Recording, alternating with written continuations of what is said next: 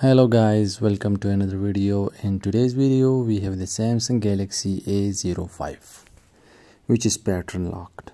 Let's remove this pattern with the hard reset. For that first you guys have to power off your phone as the samsung's won't turn off simply with the power key so we have to force restart it and then take it into the recovery menu.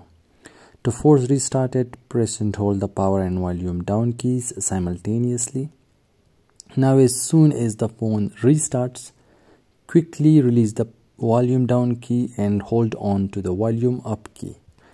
Now when the Samsung logo appears, release the power key but keep holding on to the volume up key until the recovery menu comes up.